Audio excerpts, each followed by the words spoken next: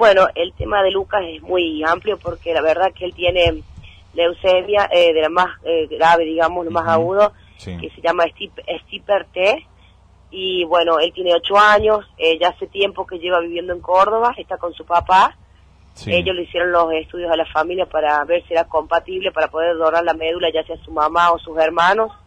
Y le salió que no, que no era compatible con nadie. Mm, así que está en lista de espera eh, para el trasplante, pero la verdad es que se, se hizo un poco difícil por el hecho de que está hay muchos chicos con la misma situación que él y lo que le decía el médico como puede estar siete meses, como puede estar mucho más tiempo allá esperando. Y bueno, estaba la posibilidad de que mm, habría algún donante, alguna persona que se quiera realizar los estudios para ver si es compatible. Y bueno, estamos, estamos en eso, viendo qué podemos hacer.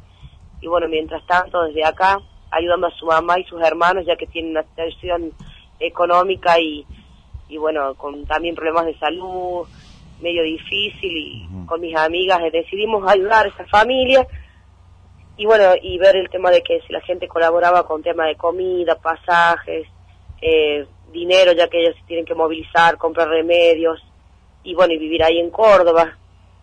Claro, claro. tienen, que estar instalados allí en Córdoba. Sí, el padre tiene que estar todo el tiempo con él. Justamente ahora están internados, porque a veces tiene unas semanas en las cuales no está internado y tienen que estar en un hospedaje. Así que la verdad que el gasto es mucho. Y bueno, y también para su familia, porque su papá ya no está trabajando, quiere el sostén. Mm. Y su mamá vende pastelitos, hace empanadas, pero no le alcanza, tiene tres niños más. Así que bueno, ayudar a la mamá acá y al papá en Córdoba.